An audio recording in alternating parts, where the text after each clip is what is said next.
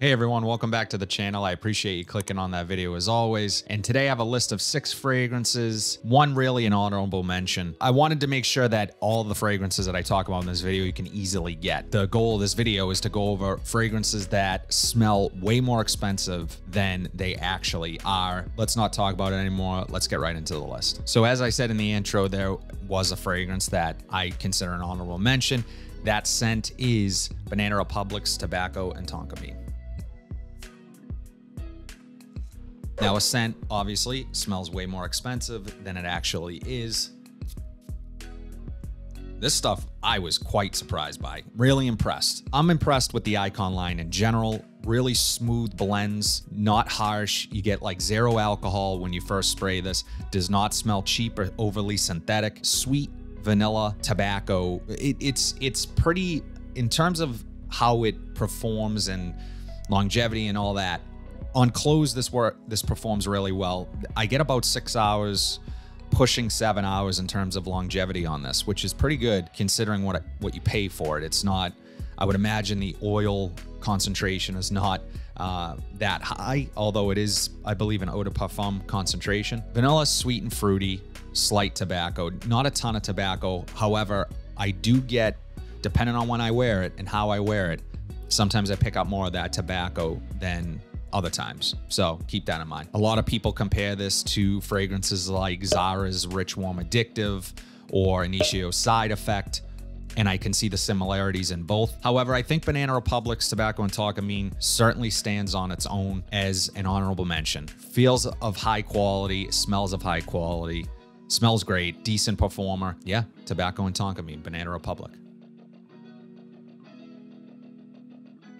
So this first fragrance is one of my favorites from the house. For the longest time, I sort of avoided it, and I don't know why. I think it's OG predecessor. I thought, you know, maybe they're just too similar to own both. I was dead wrong. Scent I am talking about, John Varvatos Vintage.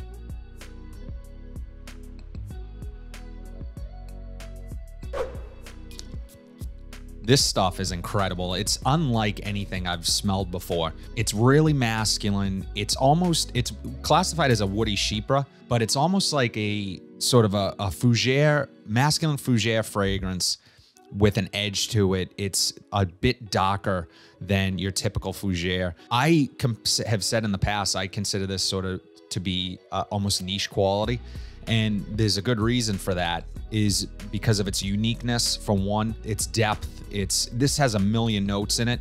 And what's funny is I can't pick out many specific notes. There is a rhubarb note up top. I don't necessarily get a lot of rhubarb. I do get a sweetness along with that lavender and the woodiness. I just love this stuff. This is super versatile. This is timeless in my opinion. It's just an incredible scent. On skin, it really projects well. It really performs well for the first hour. John Varvatos, they're not typically known for their performance. However, this one I do get decent performance from. I get around six hours of longevity. And as I said, the projection's really good for about the first hour or so. But the smell, the smell is super addictive incredible stuff. An aromatic woody with some sweetness. Later in the dry down, I do get some sort of that suede leathery touch to it. I'm a fan of the OG John Varvatos. I've talked about it plenty on this channel before. And I think for whatever reason, I thought that these, you know, based on notes and stuff, I thought, you know, maybe they're a little too close. There is a fig note in the OG. There's a lot more sweetness in the OG. Uh, yeah, this this one I'm I'm really happy to have in the collection. Again, smells way more expensive than what I paid for, what you'll pay for it. I'll be sure to link all of these fragrances. Definitely give John Varvatos Vintage a shot. This next fragrance you guys have probably heard of pretty much will end up on most lists that include fragrances that smell more expensive than they are.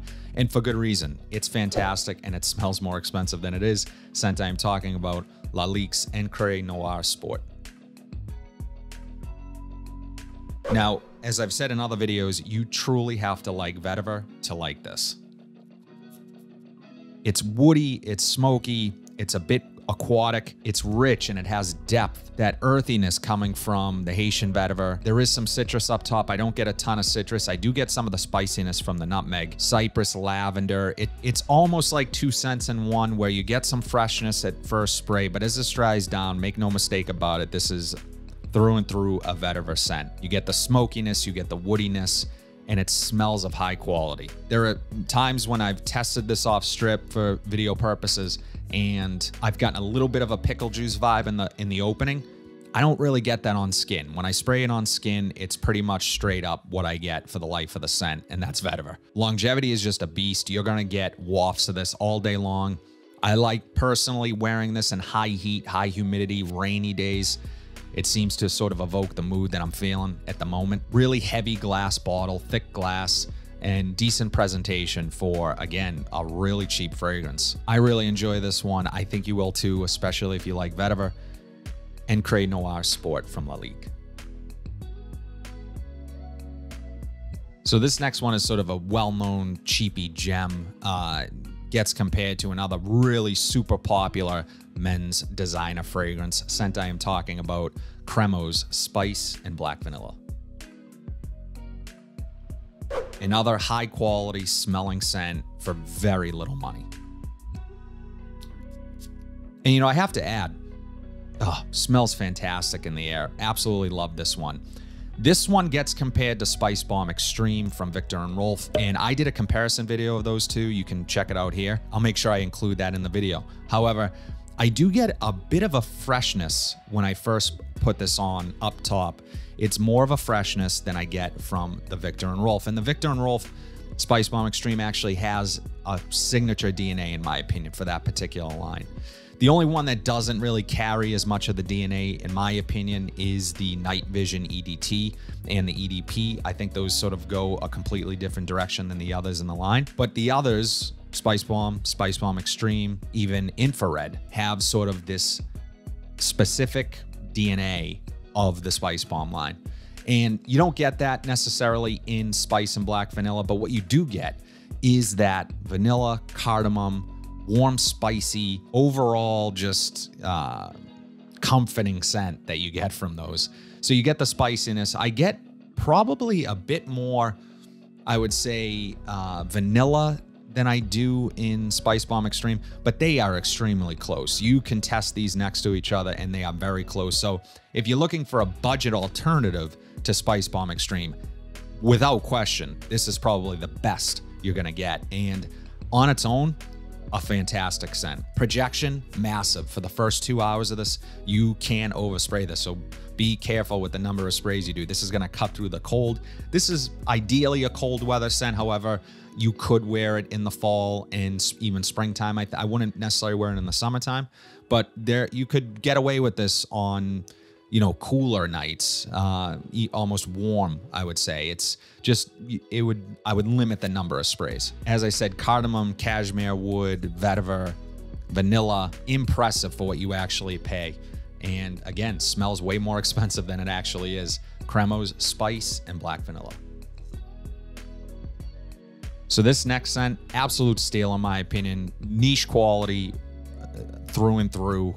Absolutely love this one scent I am talking about Moschino's Toy Boy. This is going to be a polarizing scent for some. Not everyone is going to love this.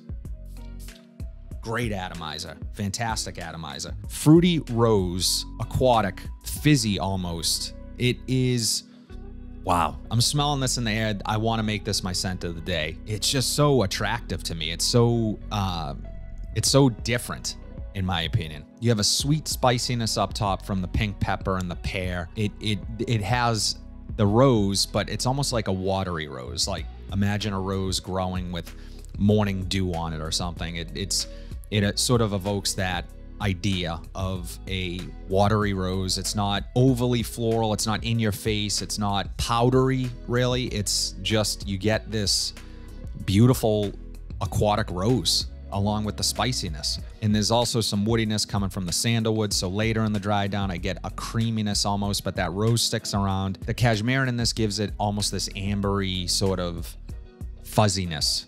it's it's funny. It's it's hard to explain and describe the feeling I get when I smell this. Longevity, all day. Uh, you're going to get wafts of this all day long. I don't need to really spray heavy. I do about six or seven sprays and I'm good and this is going to perform like a beast in the spring and summer is probably its ideal time to wear this. However, it's one of those scents that is safe for the office. You can wear it to work year round. I don't think this is as polarizing on skin and in your sillage and in your scent bubble I've never been told, I've only gotten compliments on this. You know, if you're not used to smelling something a little different, you might have, this might be a bit polarizing, I, kind of a love hate relationship with it. Or, or a love or hate relationship with it. I absolutely love it. Definitely give this one a shot. Give it a try. Give it some time. Moschino's Toy Boy. This list wasn't in any particular order, but I did want to save this one for last because I think of what I paid for this, this was the most surprising in terms of what I got. I've talked about it on the channel before. The scent I am talking about is Lamborghini's Millennials. Now, for one, it is a car related fragrance or car brand related fragrance. I get almost, I get a sort of almost vintage vibe to this when you first spray it. And I don't know if it's the bottle that's sort of, you know, lean, you know, pushing me in that direction, but from the bottle, you definitely get an 80s vibe. That sort of 80s barbershop beast mode type fragrance just in that bottle. It, uh, the bottle itself reminds me a bit of the bottle for Lauder for Men, I believe. But this scent is complex. It is rich. It is, some have said niche quality. I would agree with that. The more I wear this, the more I consider this to be more niche leaning than your typical designer fragrance. It just is. It's something different. And you're going to recognize aspects of it when you first smell this. However, it sort of changes and goes in another direction. It starts off a bit spicy, a bit smoky and woody. There's some sweetness coming from the pink pepper. There is rhubarb in this, so it almost comes across as a bit of a barbershop fougere. It has anise in it, and I actually do get a good bit of the anise in the mid, and uh, it's just an addictive scent. I absolutely love it. This is for me, a cleaned up guy. I think it's gonna work best on cool in cooler months. I just love this stuff. I do. I, I don't think vanilla is an official note, but I do get some vanilla. And in the dry down, it becomes really woody and that smokiness sticks around. A lot of the spiciness that, that is at the top of the scent kind of dissipates and I do get a more woody, slight sweetness and smoky dry down, which I'm happy with. I, I really enjoy the evolution of the scent. And for what I paid, I mean, it's a steal, an absolute steal. Uh, performance, about six hours on my skin. Not a massive performer, however, it does project really well for like the first hour or two. Smells way more expensive than it actually is, which is why it made this list. Lamborghini Millennials. Let me know in the comment section below what fragrances you guys consider way more expensive smelling than they actually are. I'd love to know. If you like what you saw today, please be sure to like, comment, subscribe, share this video, hit that bell notification so you're updated whenever I upload new content. But until then, have a fantastic rest of your day, and I'll see you in the next video.